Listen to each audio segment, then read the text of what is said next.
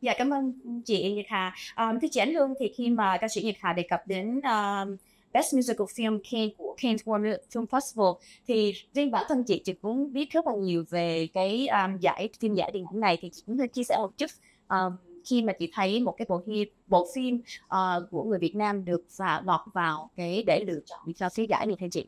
Như chị Nhật Hạ đề cập tới Cannes World Film Festival là một thành tích khi mà phim của mình được nhận vô nhưng khi mình chỉ làm một trong hai cuốn phim cuối cùng để đạt được cái giải đó thì đó là một cái kinh nghiệm rất là cao cho nên khi mà đưa nhạc Việt Nam vô trong đó mà được recognize như vậy đó là một cái công trình mà cho chị Nhật Hạ, Jacqueline và Mai Thu Huyền nói riêng và cho cộng đồng Việt Nam mình nói chung là một cái sự rất là. Dạ, cảm ơn chị.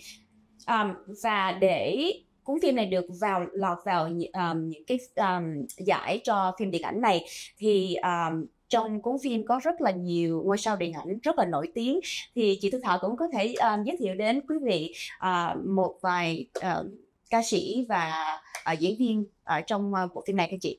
Dạ cảm ơn Mimi.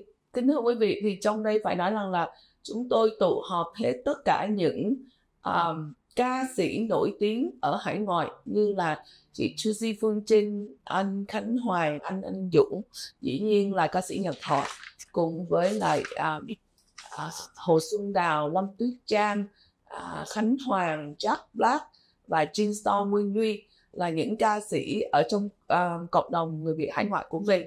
Nhưng ngoài ra thì chúng tôi uh, cũng cần sự uh, diễn xuất xuất sắc của những diễn viên uh, kỳ cựu ở bên Việt Nam và cũng là ca sĩ như là Mai A, Mai Thu Hương à, là diễn viên chính trong cái bộ phim này. Và Quốc Cường thì mới đây là phim Lật Mặt Anh ở trong đó à, cùng với đạo diễn và diễn viên à, uh, kỳ cựu ở bên Việt Nam là Mai Thu Huyền.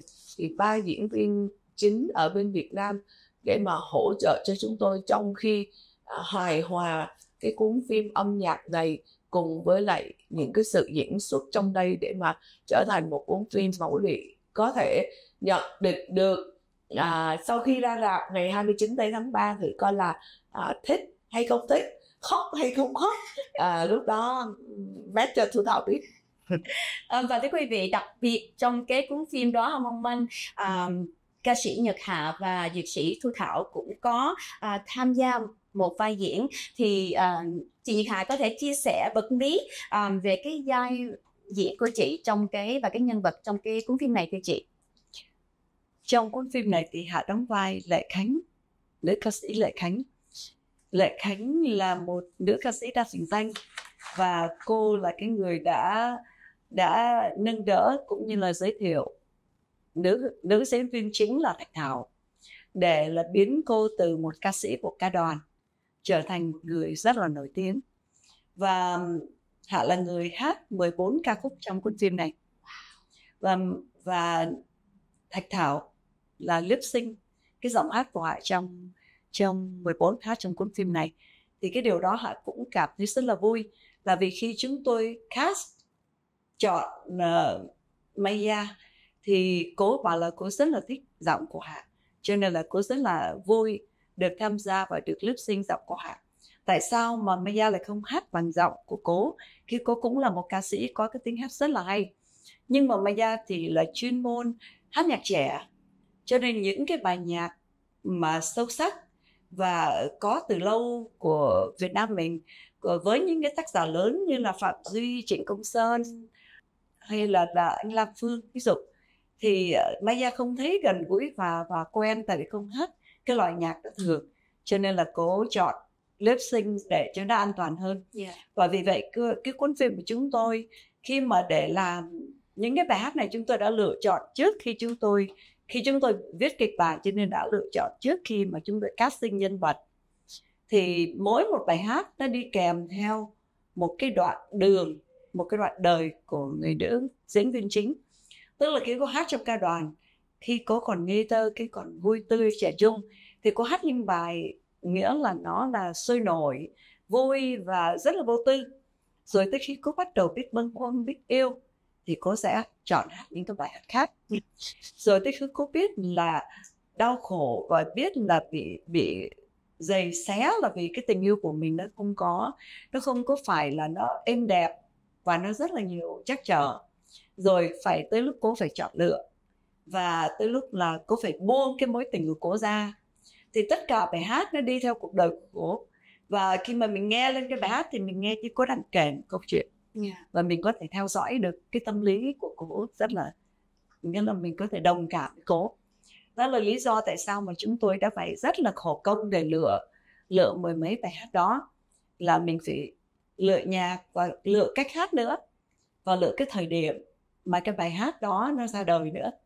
Tức là mình làm sao mà để khi người ta hiểu được là cái tâm trạng và cái biến chuyển của cái cô này, từ cái lúc ngây thơ cho tới lúc mà sầu muộn, rồi như thế nào thế nào hạnh phúc đau khổ nó đan lẫn với nhau và đối với những người Việt Nam hải ngoại thì nó đưa mình trở lại những cái kỷ niệm ngày xưa đúng rồi từ thời thật sự như là lối bánh hương thời ba mẹ của mình yeah. Dạ. và cho tới thời mình lớn lên mơ mộng thì những bản nhạc đó nằm ở trong đó thưa chị Nhật Hạ chị có thể bật mí một vài ca khúc trong cái cuốn phim này và chị có thể hát một vài đoạn trong bộ phim qua khán giả thành thật này biết ca khúc thì được. Quả thái thì không biết có hát nổi. Một, một bài mà Thúy Thảo thường thích là cho em quên tuổi ngọc hoặc là bài thứ hai mà tôi thảo muốn quý vị để ý tới cái cảnh đó và cái bài đó là thả tình. Thì quý vị sẽ rưng rưng nước mắt. Tại vì thu thảo coi um, phim này chắc là cũng 100 lần. Chung với lại uh, chị hai là editing cái phim này. Thì phải nói rằng là uh, bao nhiêu lần coi thì bấy nhiêu lần tới đoạn đó uh, thả tình bài đó thì thu thảo cũng cảm thấy rất là uh, touching. Thả tình tức là buông tình ra đó thả đi đó chứ không phải là thả cái kiểu mà uh, rủ câu mồi người ta thả gọi là flirting không gọi là thả tức là mình mình buông nó ra để cho cái lo bị nhẹ nhàng.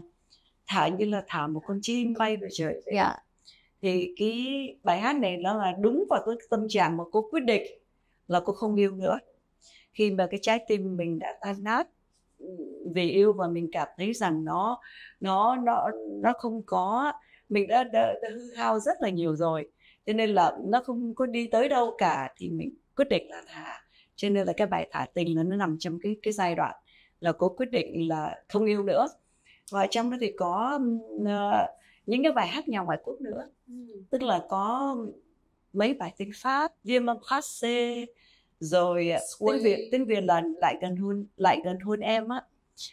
Rồi sway rồi con phim Netflix chuyện phim buồn. Thì um, những cái bài hát đó nó làm tươi vui sống động hơn cốt phim. Hay là một cái phim một cái bài khác là bài em yêu.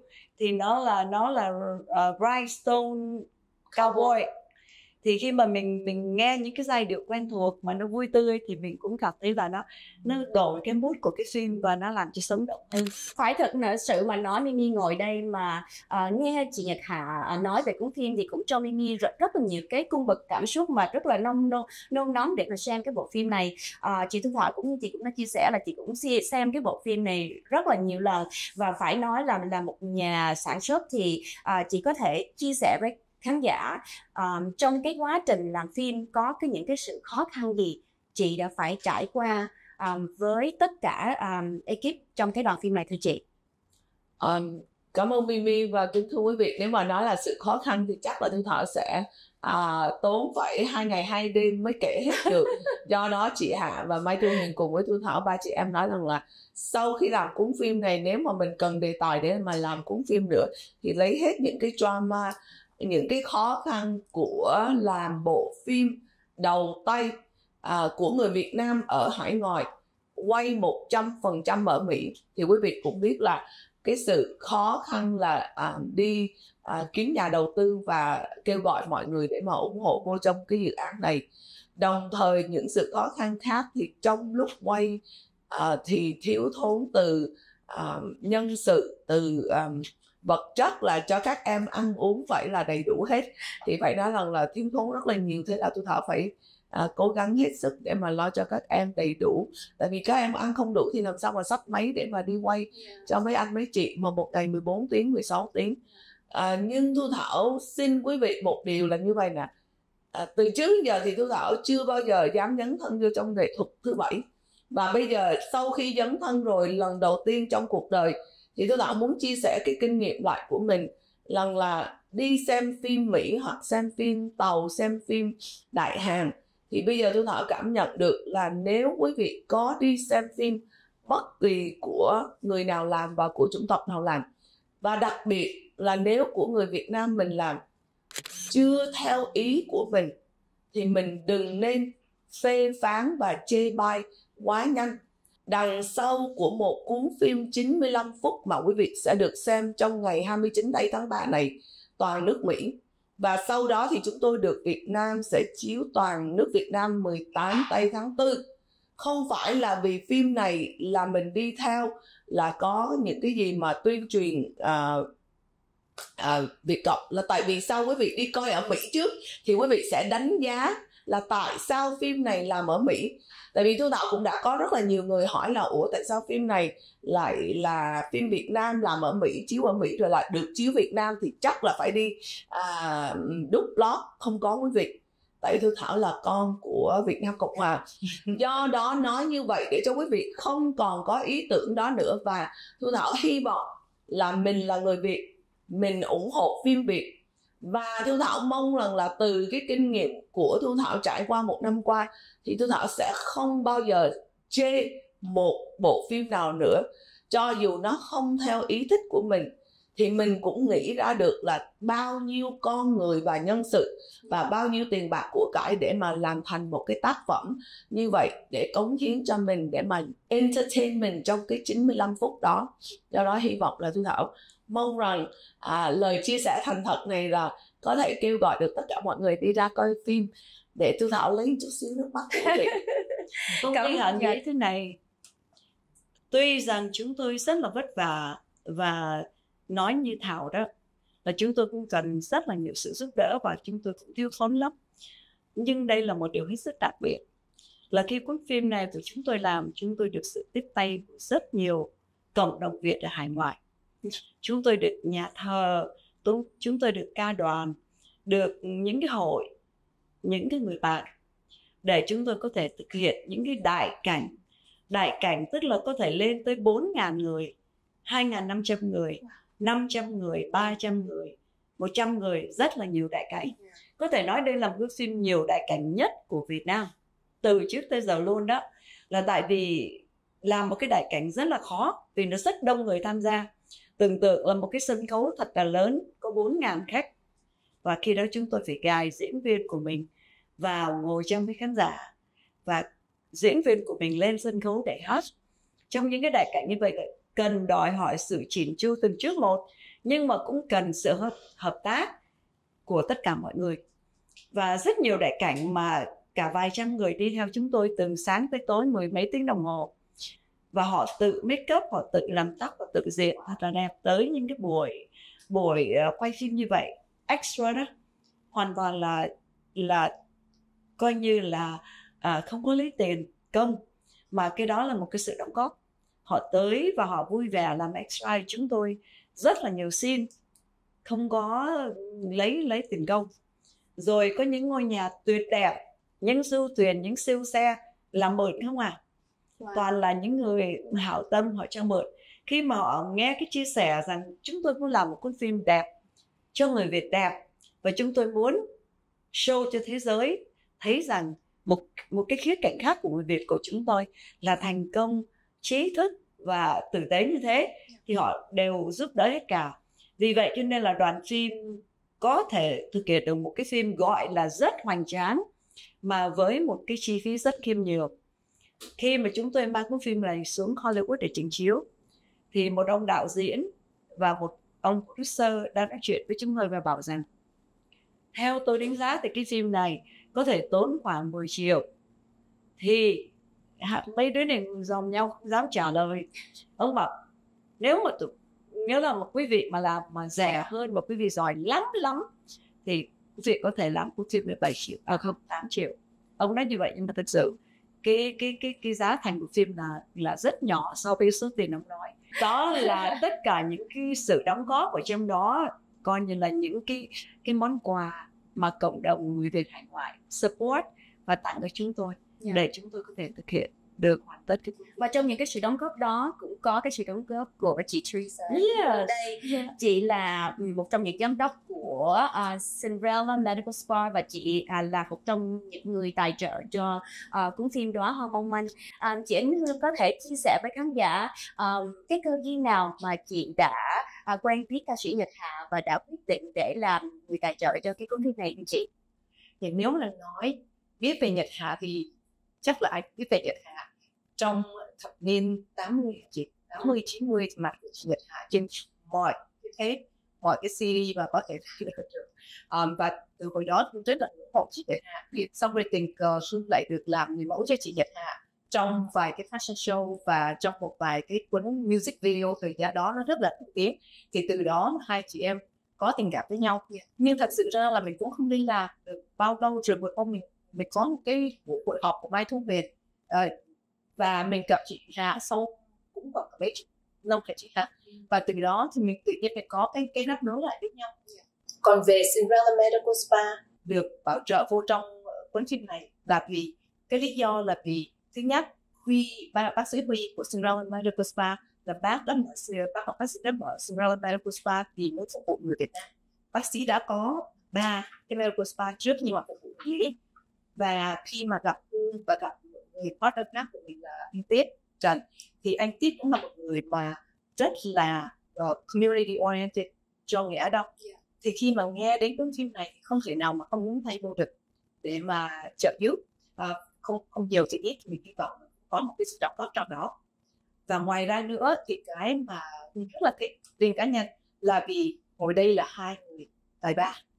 Như là Mimi nói đầu nhan sắc tài ba và chị Mai về và chị Mai chụp hình là một người ở bên Việt Nam và trong bao nhiêu năm chị nó có một cái ghép đó người ngoài Việt Nam. Và đấy là một cuốn phim là như lại cái tình cảm, cái tình yêu tình yêu của người và người với nhau. Yeah. không có về politics, không có về bất cứ một cái gì mà nó lại đưa lên một cái tình trưng rất là đẹp. Và vì cái đó thì không thể, và mình không không nhúng tay vô được. Và không những cho các thì mình, anh nói, mời tất cả mọi người tới để khán diện về một cuốn phim và đi về một cái chuyện tình yêu của con người yeah.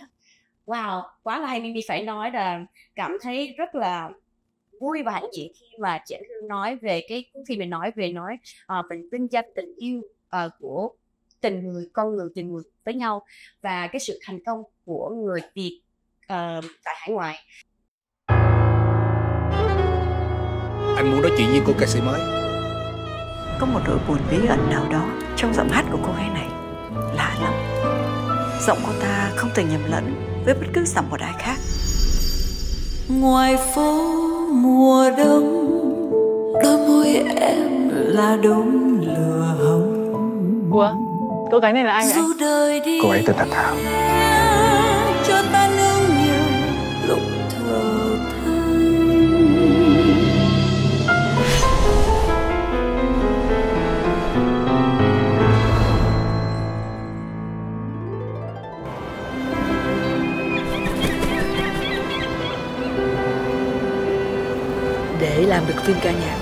đánh đổi điều gì đấy? Cần đêm trăng để chút vơi nếu thảo có tâm sự cần nói tôi sẵn sàng nghe đi. Thảo cứ coi tôi như là người tình của Thảo. Em yêu chị Em mong được sống bên chị. Tôi không tiếc tiền Bảo trợ tất cả những chương trình lớn nhỏ cho cô ấy. Rốt cuộc tôi nhận lại được cái gì